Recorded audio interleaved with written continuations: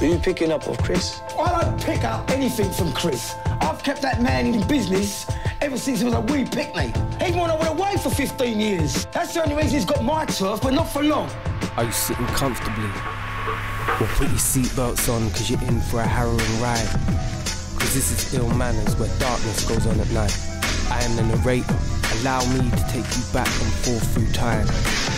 To explain the significance of things you may think are insignificant now, but won't further down the line.